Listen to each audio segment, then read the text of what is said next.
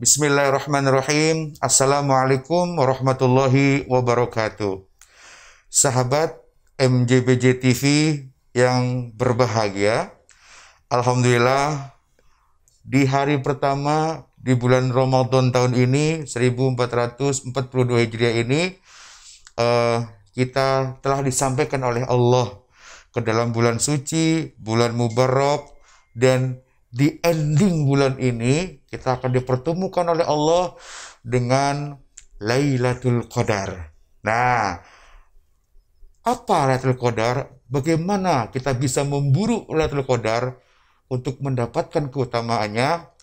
Siang ini saya ditemani oleh narasumber pada siang hari ini uh, yaitu yang terhormat Bapak Dr. Andes Kiai Ahmad Sukronun Ghazali MA Assalamualaikum Pak Ustaz. Waalaikumsalam warahmatullahi Gimana sehat? Alhamdulillah. Alhamdulillah. Kayaknya sedang puasa nih ya. Amin, amin, amin. Alhamdulillah. Alhamdulillah. Baik, uh, sahabat MJBJ TV, Saimin Saimat di mana pun Anda berada, uh, mari sama-sama kita simak uraian singkat tentang memburu malam kodar yang akan disampaikan oleh Ustadz kita, Ustadz uh, Sukron Ahmad Sukron Ghazali kepada beliau dipersilakan. Silakan Pak Ustaz. Baik. Bismillahirrahmanirrahim. Assalamualaikum warahmatullahi wabarakatuh. Waalaikumsalam. Alhamdulillah wassalatu wassalamu ala habibina Rasulillah Sayyidina Maulana Muhammad ibn Abdullah wa ala alihi wa sahbihi wa wala la hawla wa la quwata illa billah amma ba'd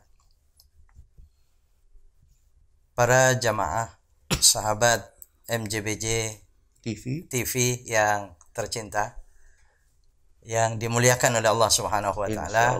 Ayyuhas saimuna wasaimat di mana saja berada semoga Allah Subhanahu wa taala menerima segala amal saleh kita amin, siam kita qiyam Ramadan kita. Menjadi amal saleh ibadah yang sungguh mabrur dan makbul di sisi Allah Subhanahu wa taala. Kita bersyukur kepada Allah Subhanahu wa taala. Alhamdulillah anugerah Allah sangat besar. Kembali Allah anugerahkan kita di bulan suci, bulan mulia yang disebut dengan Sayyidus Suhur, tuan daripada bulan. Sekalipun dalam satu tahun itu ada uh, Ashhurul Hurum. Ya, arba'at ashhur, arba'at ashhur ya.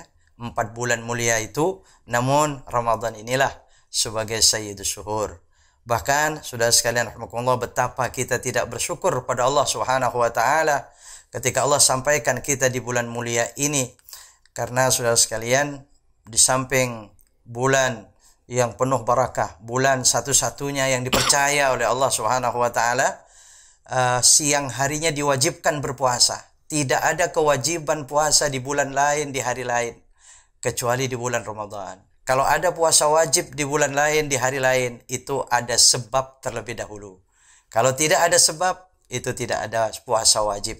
Tetapi di bulan Ramadan lah dipercaya oleh Allah Subhanahu wa taala siang harinya diwajibkan berpuasa sampai-sampai Allah Subhanahu wa taala ah, kita berhati-hati Allah akan menghukum orang yang tidak mau berpuasa sementara tidak ada udur, tidak ada roh sah uh, satu hari ditinggalkan itu tidak cukup dibayar dengan puasa satu tahun.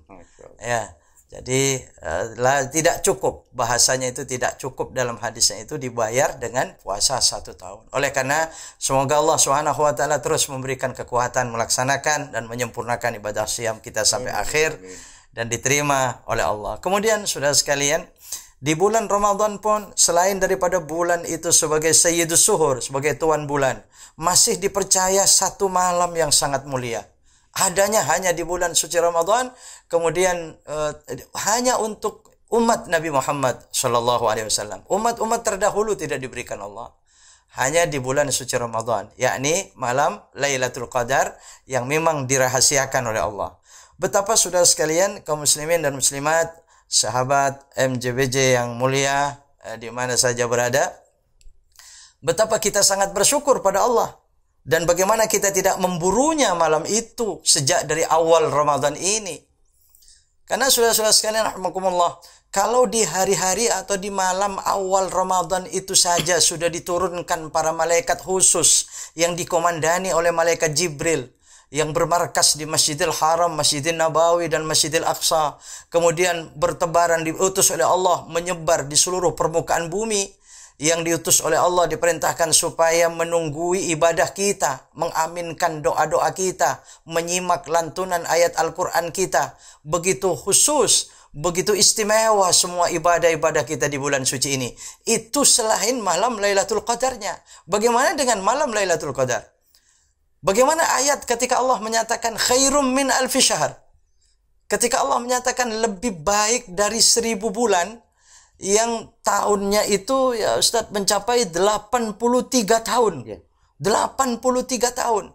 Bayangkan semalam diberikan hadiah 83 tahun. Kalau ini tidak diburu, kalau ini kita tidak mengejarnya, tidak mencarinya, ya berarti ya kita orang bodoh.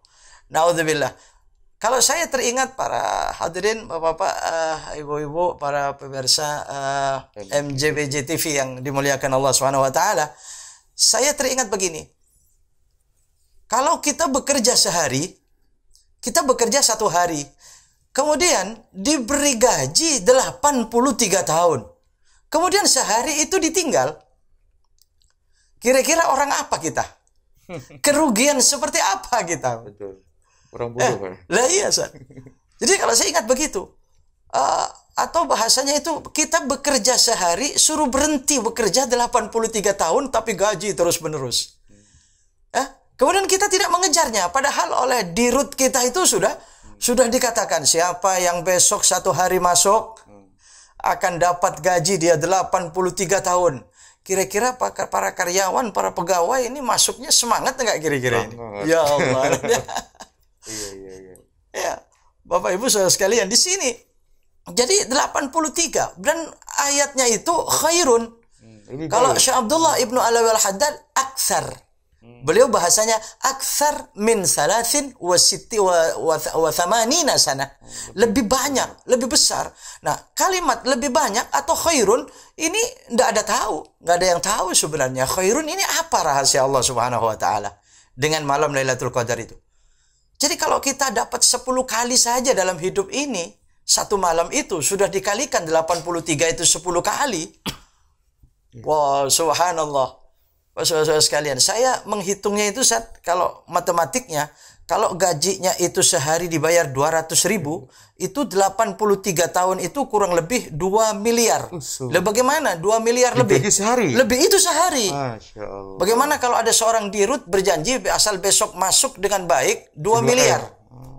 Dan itu pasti tidak bohong. Lalu karyawan nggak mau, berarti bodoh. Nah, karyawan nggak mau, kira-kira orang apa itu? Masya Allah. Masya Allah ya, ya. iya, bahkan oleh dari jauh-jauh hari sudah dijanjikan oleh sang direktur besok tanggal sekian akan ada begini. Oh. uh, akan dijanji dijanjikan sebagian. Asal dari awal bulan ini terlihat ah misalnya semacam itu. Oh sudah pasti itu.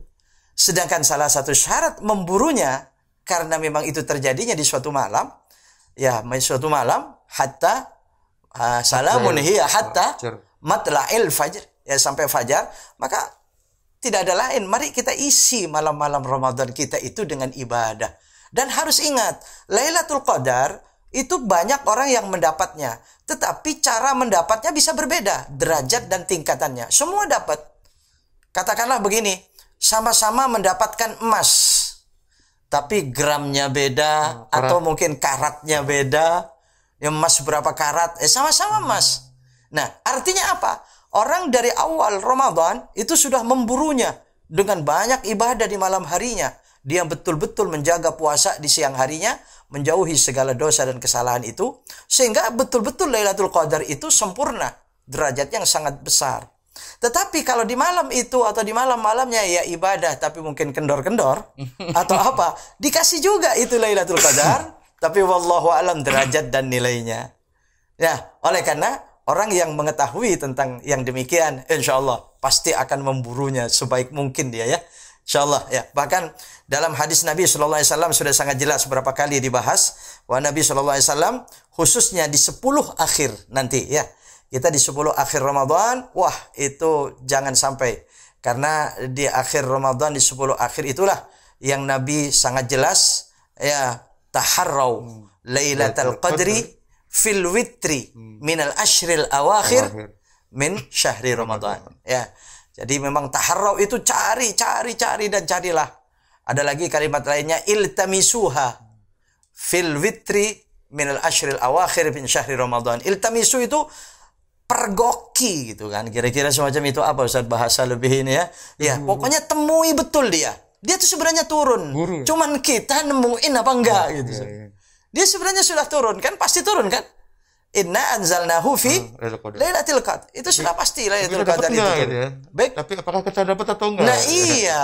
Cuma ada orang yang mau ketemu, ada orang yang tidak. itu kan ya. Cara ketemunya pun sudah dikasih tahu oleh Allah Subhanahu wa taala oleh Nabi sallallahu alaihi wasallam. Makanya Nabi SAW Idza dakhala al-ashr al-akhir shadda mi'zarahu mi'zarahu wa ahya lailahu wa ayqadha ahlahu. Kalau sudah sampai di akhir 10 akhir Ramadan, Nabi sungguh sampai apa syadda zarahu ini apa ya? Mengencangkan. Ya mengencangkan ikat pinggangnya ya gespernya gitu ya supaya tidak terlalu banyak perhatian terhadap makan. Hmm. ya kita kadang-kadang kan ngincer dari siang itu. Ya begitu ya. Ngincer dari siang itu menjadi malam hari itu menjadi apa ya kita uh, jadi malam hari itu masya Allah kita namanya ngincer dari siang kan? Betul betul Iya, jadi wasa, ah, ini kadang-kadang lupa. Wa ahya lailahu dihidupkan malam harinya itu 10 akhir Ramadan. Nabi SAW demikian. Wa aiqadha ahlahu. Allah Nabi SAW membangunkan keluarganya. Keluarganya pun dibangunkan. Suruh jangan banyak tidur di malam hari.